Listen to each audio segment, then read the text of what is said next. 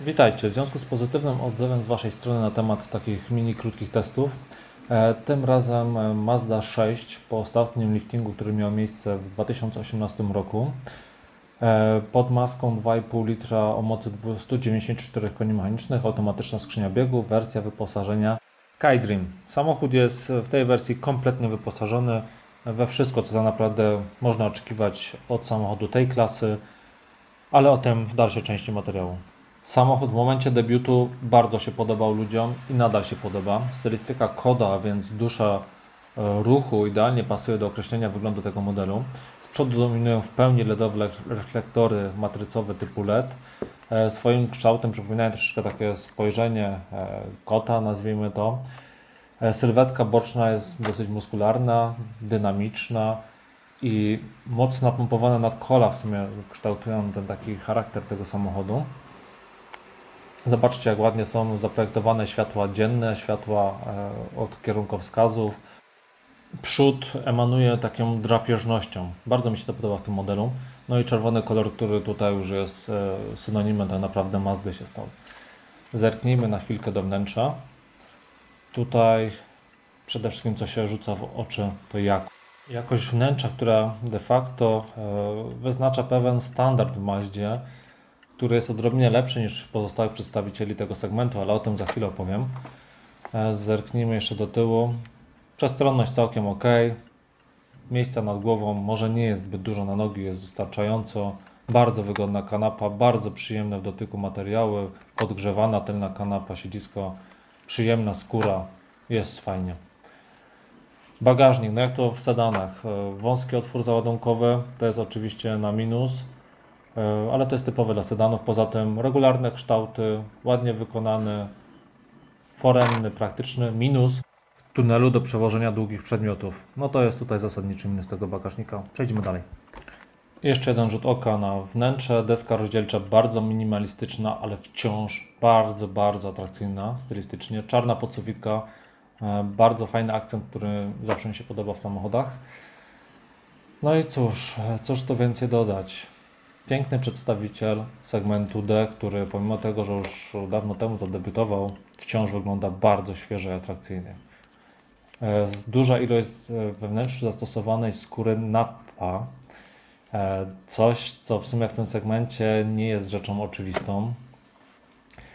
I Mazda nie oszczędza na materiałach.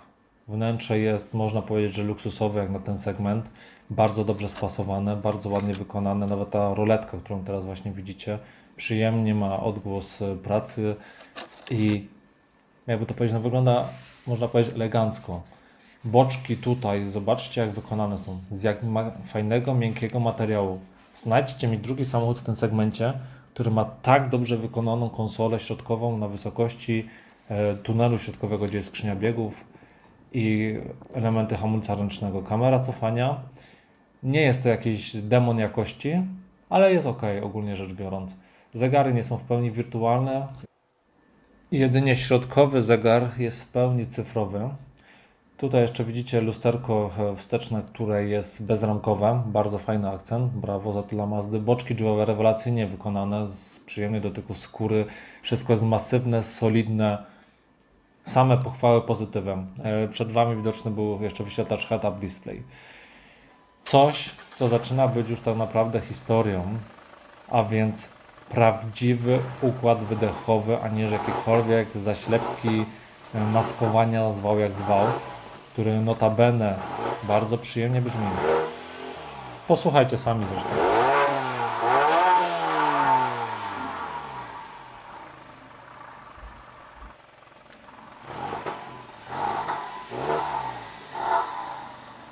Co ciekawe, zdarza mu się, iż e, jest lekki wystrzał z wydechu. Bardzo taki subtelny, ale jest. No i to jest w sumie zaskakujące, bo maskę mamy ledwie, może nie ledwie, 194 konia, ale z pojemności przynajmniej 2,5 litra, a nie z 1,5 e, tam z 1,6. Typowo wysokoobrotowa jednostka. I właśnie tutaj dostrzegliście jej w sumie może nie największy mankament, ale aby dynamicznie tym silnikiem jeździć, konieczne jest bardzo energiczne wciskanie pedału gazu oraz przeciąganie silnika po obrotach. O ile wartości katalogowe, czyli 8.1 do setki, prędkość maksymalna 223 km wydają się więcej niż wystarczające, moment obrotowy o wartości 258 Nm jest dostępny dopiero przy 4000 obrotów, czyli dosyć wysoko. W związku z czym dynamiczna jazda wymaga faktycznie bardzo mocnego e, przeciągania silnika po obrotach.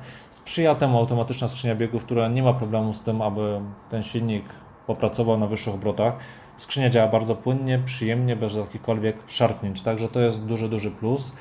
E, fajnie, że samochód jest wreszcie bardzo dobrze wyciszony, czyli coś, czego brakowało w, powiedzmy w pierwotnych wersjach przedliftingowych. Teraz jest bardzo dobrze pod tym względem.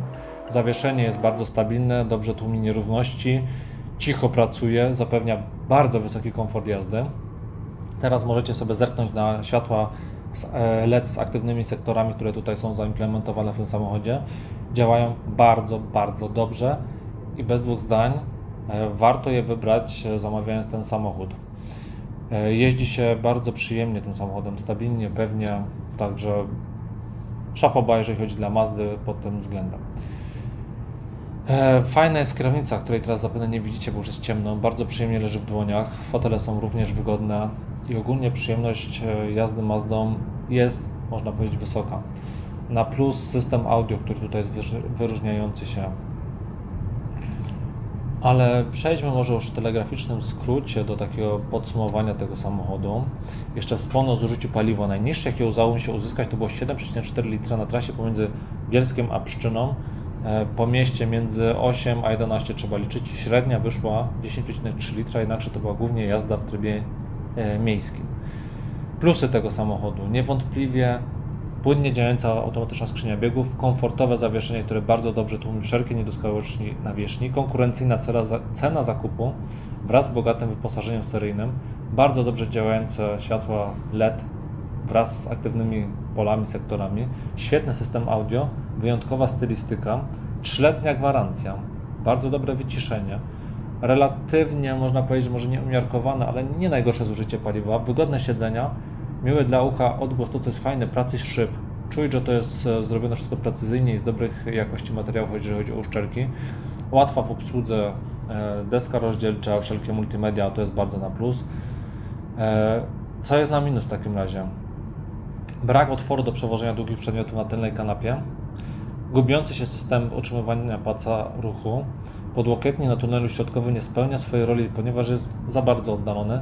Funkcja auto hold wymaga za, po każdym uruchomieniu jednostki napędowej ponownej aktywacji. E, to, co jeszcze mi się zwróciło w oczy podczas jazdy e, dynamicznej, e, gdy nawierzchnia jest mokra, ujawnia się dosyć spora podsterowność.